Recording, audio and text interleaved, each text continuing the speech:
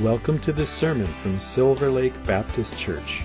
Our mission is to celebrate the greatness of God with all we are for the joy, hope, and renewal of our community. We are so glad you have chosen to listen to our message. We pray you will be blessed by your time with us today. There was a young man who grew up in a culture that was largely, economically at least, based on agriculture. And this young man was a child of privilege. You might say he was a wealthy young man, but that wouldn't be entirely accurate. It was actually his parents who were wealthy. He just enjoyed the benefits of his parents' wealth.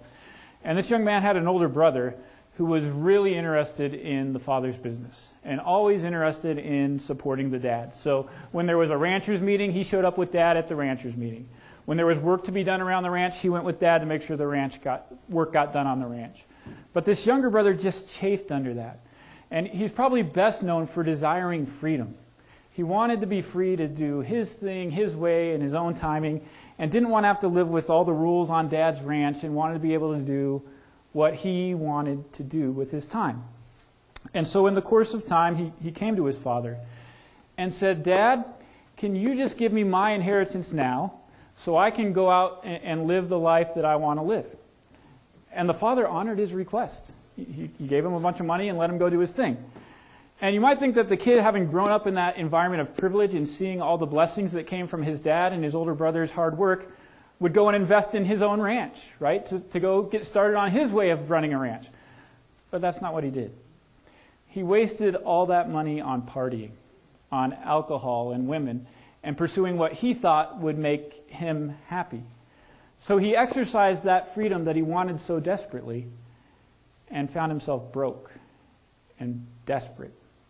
So desperate that at one point he reflected upon the decisions he had made and realized that the servants back on his dad's ranch had life better than he did. This young man was confused about freedom. And we're going to see that in Corinth, there were some folks who were also confused about freedom. And in America today, there are some people who are confused about freedom. Does anyone know what a meme is? The pictures on the internet with the little words? So the, the word meme was coined by Richard Dawkins. Does anyone know who that is? He's a crazy atheist guy who we shouldn't listen to. But he invented the word meme, and he stole it from Greek, biblical Greek no less. There, there's a Greek word mimiastai, which Paul uses when he says, imitate me as I imitate Christ. It means to imitate. And memes are people imitating other people, right? So pretty soon the things go viral and there's thousands of forms of the same meme, right? I have a meme that I'm going to share with you this morning, Sammy, if you could put that up on the screen. Has anyone seen that before? I like that, right? I, I, see it all over my Facebook and stuff. It, it's probably more common around the 4th of July. And it's often, though, something that Americans who are proud of their American culture and heritage use when other people are complaining about the way America does things. Shouldn't we be more like Europe and have socialized everything? Shouldn't we be more like this other country? And the, the point is, I have freedom. I don't care about all the stuff you're whining about. I live in the best country on the planet because I'm free to do whatever God calls me to do. That's the point, I think, of this meme. But I also think that there's a lot of people who spin it a little differently. Sammy, can we look at the next picture? This one's a comic strip that I'm not familiar with. I don't know where it came from. Can everyone read it? I'll read each of the panels just in case. So this little like basketball guy says, it's a free country. That means I can do whatever I want. Has anyone heard something like that expressed? I, I certainly have. Uh, often kids, when criticized about their behavior, might say, hey, it's a free country, right? Have you ever heard that maybe on the playground? And, and even adults, somehow we fail to outgrow this, and we'll see what happens in the rest of the comic. The, the wise bear guy says, um, I'm not sure that's what it means. Aren't there like laws and stuff? And then the basketball guy says, Nobody can tell me what I can or can't do. And the bear says, But still, Dummy is going to be mad that you broke all his stuff. And the little basketball, basketball guy calls him a socialist. Eh, because he's stepping on his rights, he's infringing on his rights, he's not allowing him to be free. Go ahead to the next slide, bud. And so we live in a country where everybody's excited about freedom, but if you were to ask 100 different people what it means to be free, you'd probably get pretty close to 100 different answers. And some of them, some of us, are abusing the freedom we believe we have, and in so doing, leading ourselves into slavery. That's exactly what was happening at Corinth. So if you have your Bible with you this morning, please turn in it to 1 Corinthians chapter 6. 1 Corinthians chapter 6, and we'll be in verses 12 through 17. And as I'm waiting for folks to turn there, I'm going to pray for us. Heavenly Father, as we open your word together, we confess that we rely completely on your Spirit to drive these truths home, to affect our behavior, to affect our desires, to help us to want what's right, to help us to do what's right, to help us to live lives of purpose and meaning in the time that you give us here on the earth. So, Lord, as, as we look at this word that lays open our hearts and exposes darkness and slavery and pain, I ask that you'd help us not to grow defensive or to rebel against the truth of your word, but to be humble and to be patient and to listen and follow the prompting of your spirit as we can find ourselves set free from these things. That in Christ we can be set free from sin. And that is our desire. We want to be people who are free to serve you and to love you with all of our hearts. We ask these things in Jesus' name and for his glory. Amen. As we look at 1 Corinthians chapter 6, the first couple of verses, there's a lot going on. And so I want to point out a couple things before we get there and see if you can notice them as we read through the text together.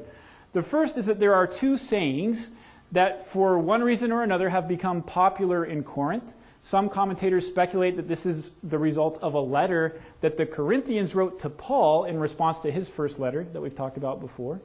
Some people think that this is a saying that Paul had actually used himself in that first letter, and the Corinthians had twisted a little bit. So see if you can see these two sayings that he's quoting and then responding to. I think it's pretty noticeable, but see if you can see for yourself. In verse 12, all things are lawful for me, but all things are not helpful. All things are lawful for me, but I will not be brought under the power of any.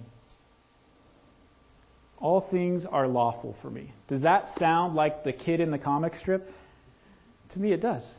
I can do whatever I want. Nobody can tell me what I can or can't do. But then Paul adds some, some extra insight after the saying. But all things are not helpful.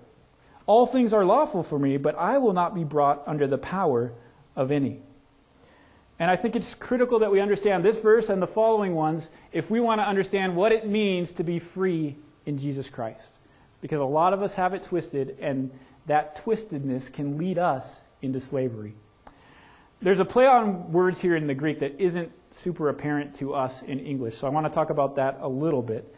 The word that's lawful in your New King James Version is the Greek word exestine.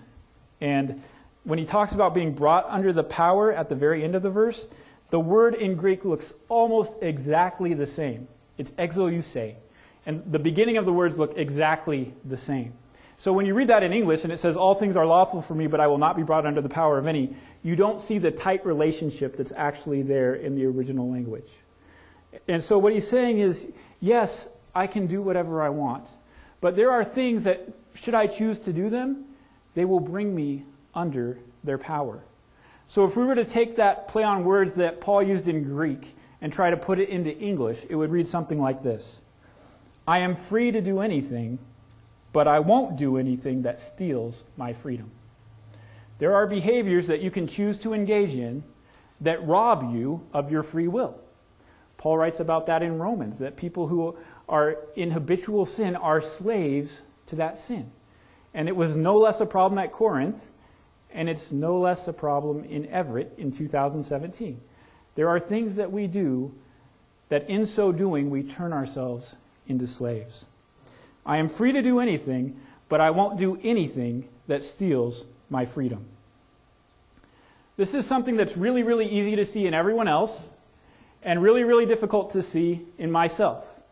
Right? All of us can look around the room and identify the behaviors in other folks that are sinful the things that are leading them into bondage. But how hard is it to see in my life? What am I doing that's turning my own body, my own mind, my own heart and soul over to bondage? It's really difficult to see. And I understand that, so I thought of a few examples that you'll be able to see in someone else to help us get the concept down so we can admit that maybe This is true of me too, because I promise it is. It's true of all of us. Okay? And, and the first thing I thought of is when you're a teenager, kind of like the young man in our story we began the sermon with, what is it that you want? Don't you want freedom? Did anybody want to be free from their parents' rules when they were a teenager? And in my experience, with, from youth ministry and from our kids and from what I've seen in my own life, there seem to be three big areas that everybody wants to exercise their freedom in. And the first and probably the most common is romantic relationships with members of the opposite sex. Right? I don't want to live by mom and dad's rules about purity because it's hard. and I'd rather go be free and do whatever I want to with whomever I want to do those things with. So that's one area where we really, really want to be free. And we're just sure if we could get out of mom and dad's house and out from under their thumb, life would be so much better. But would it? In the United States alone, there are 20 million new cases of sexually transmitted disease diagnosed every year. That means every 15 years, the entire population of the United States would be infected if it weren't for the same people having 10 and 12 and 20 infections in their life. Over $16 billion a year are spent on medical costs to treat people with sexually transmitted diseases in the United States. Is that freedom? Is that what we want so desperately to get away from our parents so that we can experience? There's another area. We talked about this last week when we were talking about fake IDs. A lot of people want to have the freedom to experiment with drugs and alcohol before the state allows them to, right? So rather than wait till they're 21 to drink, they make fake IDs. Or they go hang out with the friends who's got the cool parents who let them do whatever they want to do, right? But is that really freedom? There are 88,000 deaths per year due to alcohol alone in the United States of America.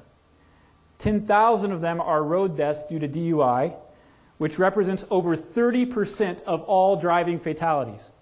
Almost a third of the people who die on the road die because somebody was driving drunk. Is that freedom? And then there's drug use. And for this, I'm just going to ask you a quick question. I have a couple of pictures. Sam, can we look at the first picture, please? Is the guy on the left more free or the guy on the right more free?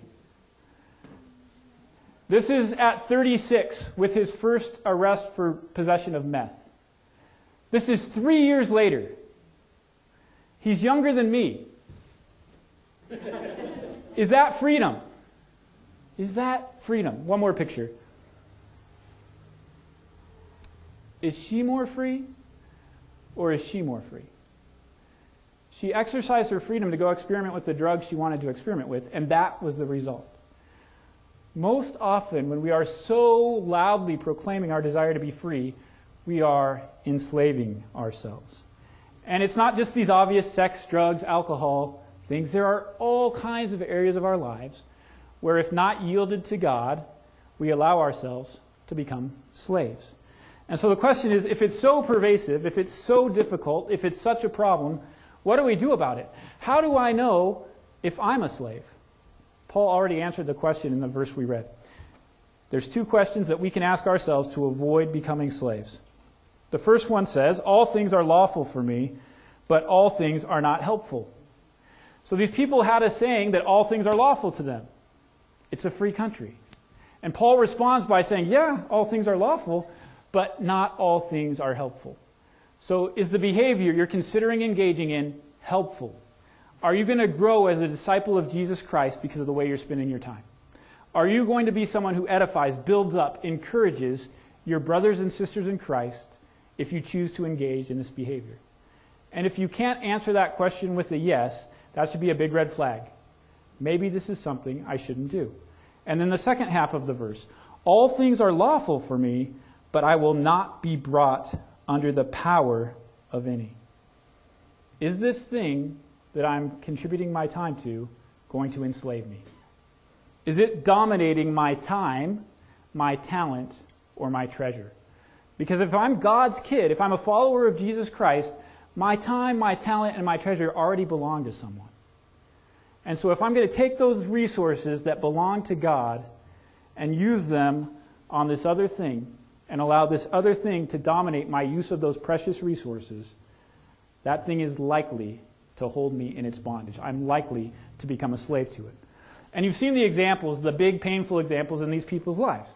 And maybe you have stories in your own family lives where you've seen the same thing, where sex addiction or alcohol addiction or drug addiction or infidelity or any of these things has led to incredible suffering for a person who thought they were making themselves free. And so Paul warns us ask the questions Is this helpful? Is this thing going to lead to enslavement? We don't want to be slaves. We want to be fulfilling the purpose that God's called us to. In verse 13, we see the next saying that Paul's addressing Foods for the stomach, and the stomach for foods, but God will destroy both it and them. Now, the body is not for sexual immorality, but for the Lord, and the Lord for the body. Do you see the saying there? Foods for the stomach, and the stomach for foods. And this was another expression of freedom that food was made for my stomach, and my stomach was made for food, so I can eat whatever I want to eat, and it's not a problem, right? And legally, yeah, that's probably true, but some of you may have experienced that there can be problems if you eat the wrong thing. But Paul says, God will destroy both it and them. Now, the body is not for sexual immorality, but for the Lord, and the Lord for the body. Is it true that your stomach was made for food? Yeah, it's pretty true, right? We have an appetite, a God given appetite that keeps us alive. So if I go without food for a certain amount of time, my stomach makes noises. I begin to get a little uncomfortable. People around me begin to get a little uncomfortable if it goes on long enough because I'm hungry and cranky and grumpy and I need some food. And God gave us those abilities so that we don't just sit there and starve ourselves to death. So we have this appetite the stomach has this appetite for food, and God has provided the fulfillment for that appetite in the form of food so that we can live and have energy and do the things that He created us to do. But Paul's saying a time is coming when that appetite doesn't matter anymore. When the stomach you've been relying on and the food you've been eating aren't going to, to be there and aren't going to be an important part of your existence. And he transitions instantly to something bigger and stronger and more important, the last half of the verse. The body is not for sexual immorality, but for the Lord, and the Lord for the body. And what he's saying is yes, the forms of meat you choose to eat, which he's going to get to later in, the, in this book, are something that we can be a little bit indifferent to. It's not critical to your life, your relationship with God, that you only eat this thing or only eat that thing. We read in Acts about how God had made all things clean for his people to eat. But sexual immorality is something more significant something we can't be indifferent toward. And so he says, the body is not for sexual immorality, but for the Lord, and the Lord for the body. God gave us our bodies for a reason. And those bodies exist to glorify Him.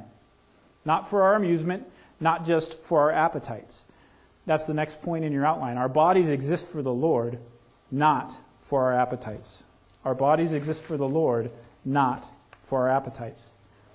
And there's a question that I've asked from this pulpit at least 10 times, and we're getting more and more respondents every time I ask it. What is the primary purpose of man?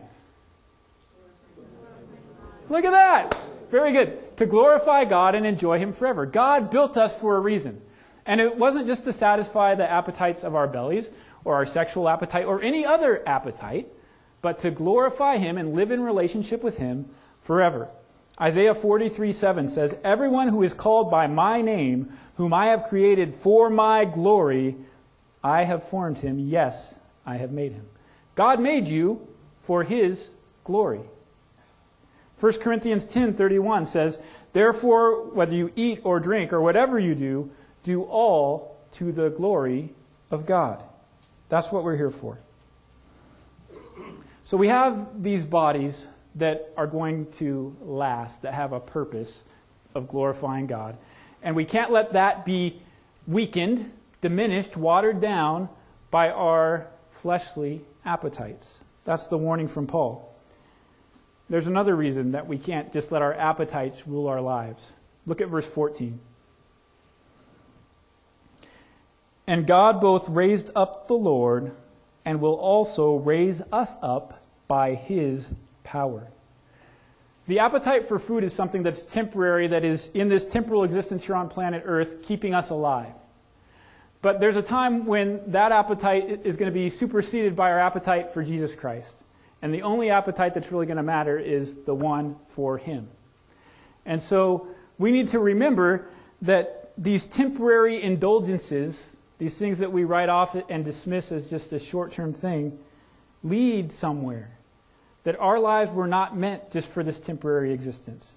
Our appetites, even, some of them, were not meant just for this temporary existence. God has raised up the Lord and will also raise us up by his power. You were meant to live with God forever. What do you want that forever to look like? Our lives will not end at death. Our lives will not end at death. That's one of those crazy things that Christians believe, and you're just going to have to deal with it. Right? Do you ever talk with someone at work? And I've had several conversations like this. Chuck, do you really believe this? And the first one I remember was about Noah's Ark. Do you really believe there was a guy who built a boat and let all the animals get in? Yes, I really believe that. This one, I really believe also. Christians are going to live forever because Jesus Christ defeated death. The same God that raised Jesus from the dead lives in you and will raise you when the time comes. So, if our lives are going to last forever, isn't it important that we prepare in the short window of time that we have here on earth? Verse 15 Do you not know that your bodies are members of Christ? Do you not know that your bodies are members of Christ? That's another kind of strange concept, but it's not unique to this letter. In Ephesians chapter 5, Paul writes, For we are members of his body, of his flesh, and of his bones. This new identity that we have in Christ extends to every part of us. Our new identity in Christ connects all of us to all of him. The way we use the bodies that he's given us matters. Not just because we're going to last a long, long time and live forever with Him, but because we are united with Him now. And the things we choose to do reflect not just on us, but on His character. The character of the one who died in your place so that you could have a healthy relationship with a holy God can be diminished to the eyes of the world around you by the choices you make, by the way you choose to live your life. And so Paul says, Don't you understand? Don't you know that your bodies are members of Christ? Our new identity in Christ connects all of us to all of Him. And that's a big concept, and Paul's going to build on that big concept in the next couple of verses with some application. He says, Shall I then take the members of Christ and make them members of a harlot? And he's asking that because that exact thing was happening. And we've, as we've gone through 1 Corinthians so far, we've talked a little bit about that. There were people engaged in incestual relationships in the church, and the church was proud of their tolerance of this sin. There were people making use of the temple prostitutes for the pagan religions around them. And Paul's saying, look, if you guys are God's kids, you have been united with Jesus Christ. You can't take the members of Jesus Christ, the parts of Christ's body, and unite them with a prostitute, with a harlot. And he's trying to help these people see that their behavior is not consistent with their identity in Christ. Their behavior is not consistent with the family into which they've been adopted. He goes on to say, Certainly not. Or do you not know that he who is joined to a harlot is one body with her? For the two, he says, shall become one flesh. But he who is joined to the Lord is one spirit with him. Our connection to Christ extends to all that we are and all that we do. Our behavior can dishonor, can bring reproach to the name of Christ, or it can bring appropriate glory and honor to the name of Jesus Christ. Our connection to Christ extends to all that we are and all that we do. And you can find something about this in the writings of John, where he's quoting Jesus Christ. You can find it in the writings of Paul and Peter. And I have a few examples for us just to remind us. There's a section in John 17 that we've quoted from a few times here in 1 Corinthians called the High Priestly Prayer. This is where Jesus is praying for his disciples and for the people who would come to believe in him because of their ministry. This is what he prays in John 17, 21 through 23. That they may all be one, as you, Father, are in me and I in you, that they also may be one in us, that the world may believe that you sent me. And the glory which you gave me, I have given them, that they may be one, just as we are one.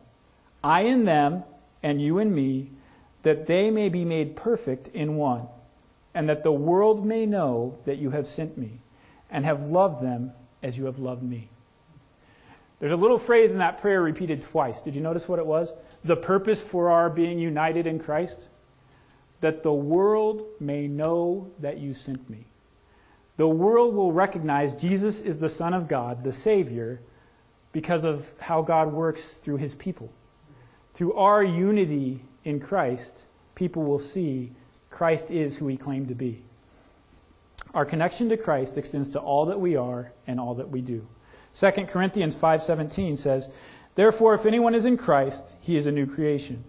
Old things have passed away; behold, all things have become new." And Galatians 2:20, "I have been crucified with Christ. It is no longer I who live, but Christ who lives in me. And the life which I now live in the flesh, I live by faith in the Son of God who loved me and gave himself for me." if we're God's kids, if we're Christians, followers of Jesus Christ, we have new life. And that new life is found in a new identity in Jesus Christ. We're not whoever we used to be anymore. We have our identity united in Jesus Christ. Who we are flows from who He is. And so the world sees that these people, these followers of Jesus Christ, are different because they now reflect the character of Jesus Christ instead of their own character. And I want you to think about this for a minute as we roll it back to our discussion of freedom at the beginning of the message. Many people, even inside the church, view the church and religion as a source of rules, as hindrances to freedom.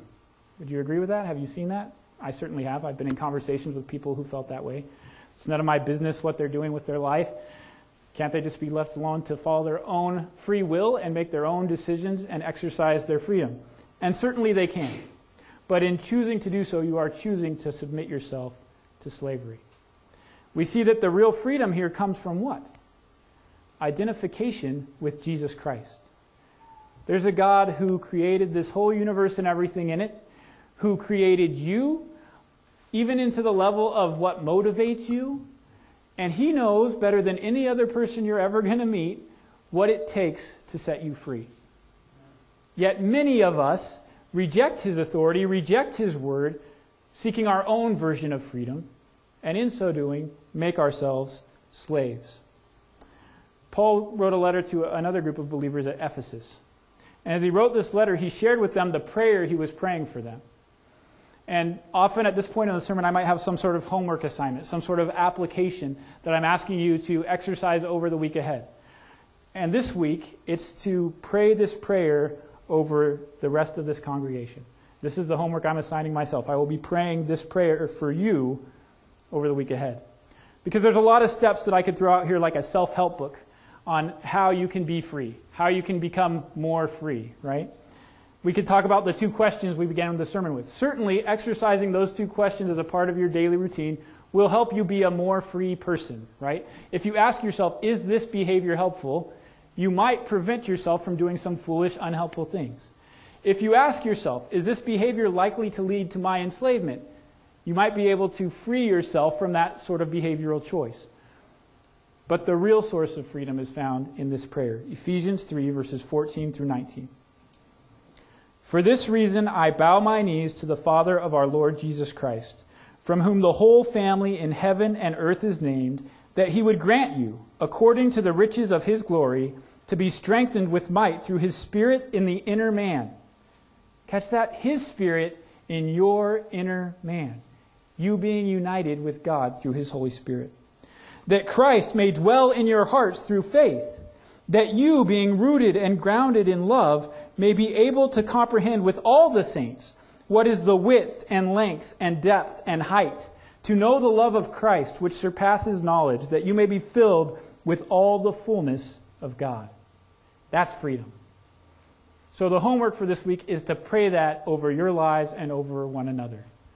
That God would help us to so understand His love for us, to so walk in union with Jesus Christ that these enslaving behaviors aren't even a glimmer of a temptation to us because we're enraptured with Jesus and those behaviors have no hold on our hearts anymore. Let's pray together. Heavenly Father, we thank you for our time together this morning. We thank you for the wisdom Paul shares with us here that we can be set free, but it's very often not the path we would choose to freedom. And so I ask that you would help us to make the real path more appealing to our hearts. Help us to see the truth about who you are and what you've come to do for us. Help us to walk each day of our lives in such tight fellowship with Jesus Christ that sin loses its appeal. Help us to be so excited about who you are and what Jesus Christ has done for us that alcohol or drugs or sexual temptations lose their power over us. Lord, break the bondage of sin in this congregation, in each of our hearts. Where sin has shackles on our hearts, snap them with the power of your love and the appeal of a relationship with Jesus Christ. We ask these things in His name. Amen. Thank you for listening. If you'd like to learn more about us, check out our website at www.silverlakebaptist.org.